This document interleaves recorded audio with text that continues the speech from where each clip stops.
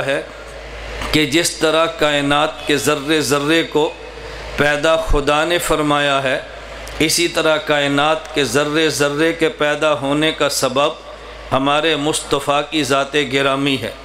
تو ایک ذات کو ہم رب العالمین مانتے ہیں اور ایک ذات کو رحمت للعالمین مانتے ہیں۔ اس کا معنی یہ ہے کہ پوری کائنات کو چلانے والا وہ رب العالمین ہے۔ اور جس شریعت کے مطابق اس کائنات کے تشریعی نظام نے چلنا ہے، وہ شریعت والا رحمت للعالمین ہے۔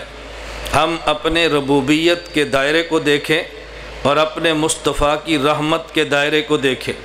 ان دونوں میں جوڑ کیا ہے رب العالمین اور رحمت للعالمین میں۔ وہ میں اپنے بالکل جلسے کے اختتام پہ عرض کروں گا، اس لیے جہاں سے ہمارا بیان شروع ہے وہیں پہ بیان ختم ہوگا، جیسے اس کی ابتدا ہے ویسے انتہا ہوگی۔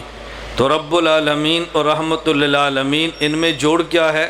میں آخر میں انشاءاللہ عرض کروں گا، شروع میں اتنی بات سمجھ لیں کہ جس خدا کا کلمہ پڑھا، وہ رب العالمین ہے، اور جس خدا کی شریعت کو مانا، وہ رب العالمین، اور جس مصطفیٰ کی شریعت قبول کی ہے، جس مصطفیٰ پر ایمان لائے ہیں وہ رحمت للعالمین ہے۔